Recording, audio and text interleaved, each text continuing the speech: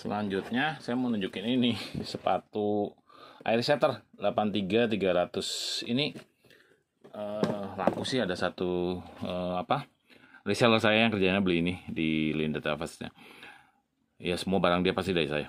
Uh, ini saya dapat banyak karena clearance jadi ini udah mulai habis ya stoknya saya beli semua karena saya kan pelapak bonafit deh jadi kalau beli nggak satu ya atau dua ya kita beli banyak uh, ini sengaja saya tunjukin yang ini karena ini ukuran 14 jadi kalian kebayang nggak? Ini ukurannya 14 seumur hidup saya ini paling besar sepatu yang pernah saya saya pegang. 14 itu berarti panjangnya 32 cm insole ya? Oh ya ada beberapa pertanyaan yang itu keluarnya tuh kalau misalnya yang biasa paham sepatu ya ada tulisannya panjang sekian tuh pasti insole jadi ya mungkin ya orang awam memang nggak ngerti sih saya paham sih. E, nggak bisa disalahin cuma ya memang nggak waras aja kalau misalnya uh, apa nyantumin panjang outsole kalau nggak uh, sepatu Aladin berapa tuh panjangnya ya? Paling melengkung gitu apa sepatu-sepatu yang orang yang suka melengkung melengkung gitu. Nggak mungkin sih outsole-nya disebutkan. Uh, jadi ini sepatu steel tuh ya Gen 1 nih. Steel tuh beda dengan Timberland yang tadi itu udah alloy itu ini masih steel tuh Oh yang baik steel tuh, uh, auto ataupun komposit tuh atau non metalik tuh semuanya udah ASTM ya. Kalau ASTM tuh ya nggak tahu, nggak nggak ada sih sepatu safety tulisannya ISO ya saya nggak nggak tahu.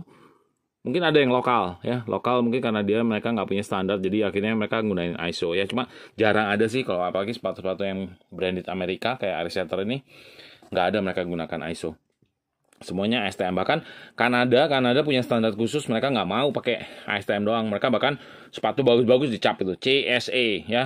Canadian Safety Association ya.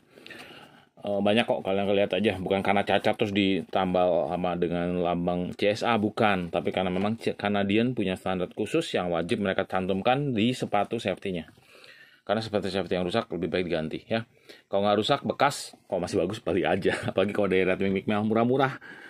Uh, tadi ini pakai ini diputerin. Cuman sayangnya nggak kuat tuh karena mungkin kapasitas padahal 5 kilo loh. Ini cuma 2 kilo. Tapi ya oke okay lah ya. Nah, ini kalau kalian pengen lihat bentuknya ini sih udah standar.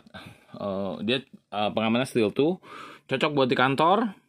Ada karetnya adjustable Terus ini resolvable kelihatan ya. Jadi kalau midsole-nya rusak ya ganti aja. Gampang kok. Saya juga pernah ngalamin uh, midsole rusak gitu ya. Datang ke Slit Care di PGC, kontak Ivan ya.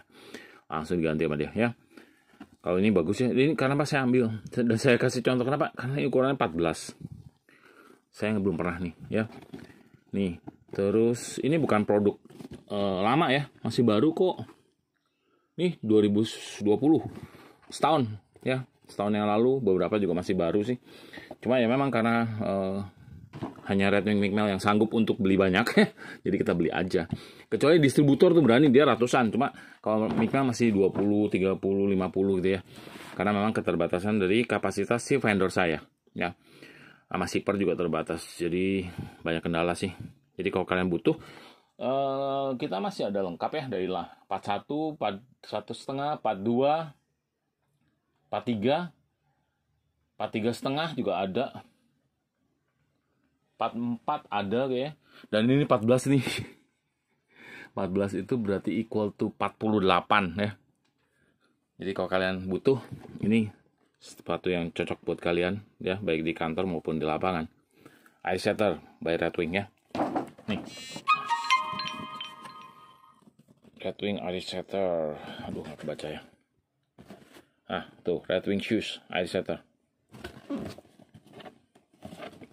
Oke, semoga cukup. Kalau misalnya udah tertarik langsung beli aja ya. Saya dari Tokopedia kok. Ya, have a good day.